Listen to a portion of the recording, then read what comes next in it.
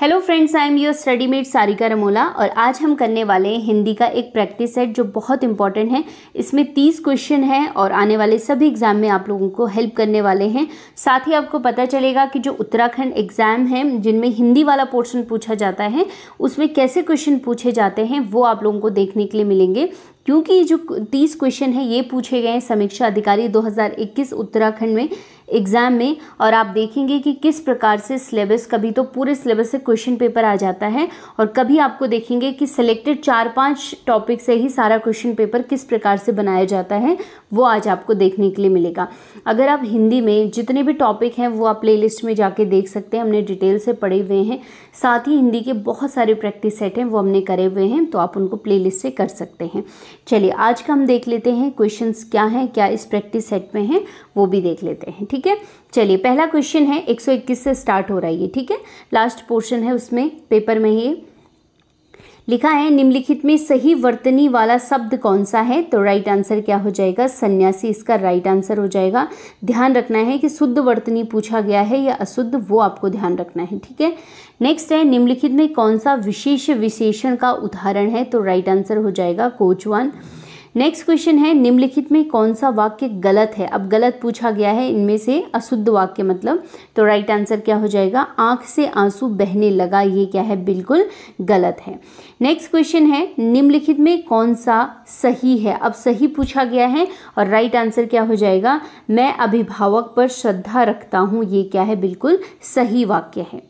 चलिए next question है, निम्नलिखित में कौन सा शब्द घोड़े का पर्यायवाची नहीं है? इसमें है बाजी, सैंधव, ये क्या है? घोड़े के पर्यायवाची हैं, लेकिन गयंद यहाँ पे घोड़े का पर्यायवाची नहीं है, क्योंकि गयंद का जो अर्थ होता है, वो होता है हाथी, उसका पर्यायवाची है वो, ठीक है? चलिए नेक्स्ट है, निम्नलिखित में कौन सा शब्द वर्तनी वाला है? तो यहाँ पे थोड़ा मिसप्रिंट हुआ है, यानी अशुद्ध वर्तनी वाला पूछा गया है, ठीक है? तो राइट आंसर क्या हो जाएगा? अति संयुक्ति इसका राइट आंसर हो जाएगा, क्योंकि इसमें स कैसे होना चाहिए था? पूरा सा होना चाहिए था, ठीक है? बाकी इसमें क्या है? बिल्कुल सही है। चलिए नेक्स्ट क्वेश्चन है, मूर्ख व्यक्ति प्राय बहुत बोलते हैं, मैं विशेष विशेषण है तो राइट आंसर क्या हो जाएगा? मूर्ख। नेक्स्ट क्वेश्चन है, दिया सलाई का तत्सम रूप क्या है? ठीक है? दिया सलाई का तत्सम रूप क्या है, यानी संस्कृत रूप क्या है तो राइट आंसर क्या हो जाएगा? दीप शला का इसका राइट आंसर हो जाएगा, ठीक है?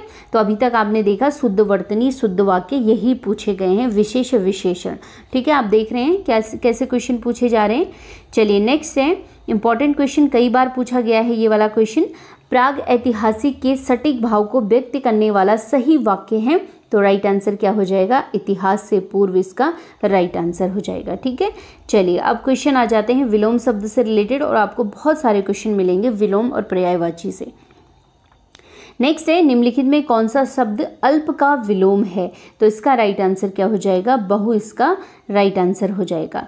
नेक्स्ट इंपॉर्टेंट क्वेश्चन है प्रवत्स्य पत्तिका निम्न में से किस वाक्य के लिए उपयुक्त शब्द है? तो राइट आंसर क्या हो जाएगा? जिसका पति प्रदेश जाने वाला हो, उसको कहा जाता है, ठीक है?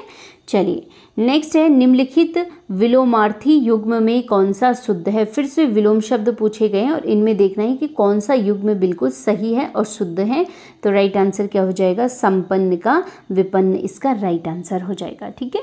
चलिए नेक्स्ट क्वेश्चन है, सभ्य सांची का अर्थ प्रकट करने वाला वाक्यांश कौन सा है? तो राइट आंसर क्या हो जाएगा? बाएँ हाथ से तीर साधने वाले को क्या कहा जाता है? सभ्य सांची कहा जाता है, ठीक है? चलिए, अगर आपके पास पूछा जाए कि सभ्य सांची अन्य किसका नाम है तो अर्जुन का नाम भी सभ्य सांची है। और कभी आपके ऑप्शन में ये ना आए कि अगर ये ना पूछा जाए कि बाएँ हाथ से तीर चलाने वाला, ठीक है? तो आप उसमें ये भी कर सकते हैं कि दोनों हाथ से तीर चलाने वाले को क्या कहा जाता है? सभ्य सांची कहा जाता है, ठीक है? क्योंकि अर्जुन का नाम सभ्य सांची इसलिए पड़ा था क्योंकि वो दाएँ और बाएँ दोनों हाथ से धनुष बाण चला सकते थे, ठीक है? चलिए नेक्स्ट क्वेश्चन है। सानुनासिक का सही विलोम है तो राइट आंसर क्या हो जाएगा? निरुनासिक निरुनुनासिक इसका राइट आंसर हो जाएगा, ठीक है? चलिए नेक्स्ट क्वेश्चन है, निम्नलिखित में उर्वर शब्द का विलोम है। फिर से विलोम पूछे गए हैं और राइट आंसर क्या हो जाएगा? ऊसर इसका राइट आंसर हो जाएगा, ठीक है? यहीं पे नेक्स्ट क्वेश्चन विलोम से रिलेटेड ही आप देख लीजिए। आहूत का सही विलोम है तो राइट आंसर क्या हो जाएगा? अनाहूत इसका राइट आंसर हो जाएगा, ठीक है? तो आप देख रहे हैं क्वेश्चन कैसे पूछे गए हैं। नेक्स्ट है कौन सा मुँह लेकर जाऊँ? वाक्य में कौन सा विशेषण है? तो राइट आंसर क्या हो जाएगा? सार्वनामिक विशेषण, इसका राइट आंसर हो जाएगा, ठीक है? चलिए नेक्स्ट क्वेश्चन है। निम्न में कौन सा चाँद या चंद्रमा का पर्यायवाची नहीं है? ये भी ध्यान रखना है कि कौन सा है पूछा गया है या नहीं पूछा गया है। तो राइट आंसर क्या हो जाएगा? पूसा इसका राइट आंसर हो जाएगा जो कि चंद्रमा का पर्यायवाची नहीं है, ठीक है? नेक्स्ट है प्रतीप का सही पर्याय क्या है? तो राइट आंसर क्या हो जाएगा? विरुद्ध इसका राइट आंसर हो जाएगा, ठीक है? चलिए नेक्स्ट क्वेश्चन है। निम्नलिखित तत्सम तद्भव युग में कौन सा अशुद्ध है? ठीक है, अशुद्ध कौन सा इसमें? तत्सम यानी संस्कृत और तद्भव यानी हिंदी तो इनमें अशुद्ध कौन सा है? तो राइट आंसर क्या हो जाएगा? रानी और रानी क्या है इसमें? अशुद्ध है, बाकी बिल्कुल सही है, ठीक है? चलिए नेक्स्ट है, कलब का सही अर्थ देने वाला वाक्य कौन सा है? ये क्वेश्चन बहुत बार पूछा गया है और इसका राइट आंसर क्या हो जाएगा? हाथी का बच्चा इसका राइट आंसर हो जाएगा, ठीक है? नेक्स्ट क्वेश्चन है, निम्नलिखित में कौन सा शब्द अरण्य का पर्यायवाची नहीं है पूछा गया है? और इसका राइट आंसर क्या हो जाएगा? पांतर इसका राइट आंसर हो जाएगा। क्योंकि अरण्य मीन्स क्या होता है? जंगल होता है। और इसमें अगर आप देखेंगे, अटवी, कांतार, विपिन, ये सब अरण्य के पर्यायवाची हैं। पांतार इसमें अरण्य का पर्यायवाची नहीं है। ठीक है, चलिए नेक्स्ट इंपॉर्टेंट क्वेश्चन ऐसे क्वेश्चन भी पूछे जाते हैं। देखिए, वाक्यांश से रिलेटेड पहले भी हमने पढ़ा ये। निम्नलिखित वाक्यांश के लिए अशक्य शब्द प्रयुक्त होता है तो राइट आंसर क्या हो जाएगा? जो कार्य नहीं किया जा सकता है, ठीक है? ऐसा नहीं कि जिसको करने की संभावना हो, बल, बल्कि अशक्य उसे कहा जाता है, जिस कार्य को कभी किया ही नहीं जा सकता, ठीक है? तो इसे ध्यान रखेंगे। नेक्स्ट है, असीति निम्नलिखित में किस शब्द का तत्सम है? तो राइट आंसर क्या हो जाएगा? अस्सी का। नेक्स्ट क्वेश्चन है, उपाध्याय शब्द किस शब्द का तत्सम है? आप देख रहे हैं, एक साइड से कैसे क्वेश्चन पूछे जाए? तत्सम, तद्भव, विलोम, पर्यायवाची, शुद्ध, अशुद्ध, है ना? तो यही क्वेश्चन पूछे गए हैं। लेकिन इसका मतलब ये नहीं कि हर बार ऐसे ही क्वेश्चन पूछे जाएँगे। कभी कभी पूरे सिलेबस से भी एक एक दो दो क्वेश्चन पूछे जाते हैं। लेकिन इस क्वेश्चन पेपर को मेरे मेन करवाने का मकसद यही था कि ये वाले पोर्शन को भी अंडर एस्टिमेट नहीं करना है। विलोम पर्यायवाची, तत्सम तब, तद्भव को इनको भी अच्छे से तैयार करना है, क्योंकि कभी कभी इससे पूरा पेपर भी बन गया है। देख लीजिए आप, ठीक है? तो चलिए नेक्स्ट क्वेश्चन है। उपाध्याय किस शब्द का तत्सम है तो राइट आंसर क्या हो जाएगा? ओझा का। नेक्स्ट क्वेश्चन है, चमत्कार विशेष से बनने वाला विशेषण शब्द है तो चमत्कारिक इसका राइट आंसर हो जाएगा।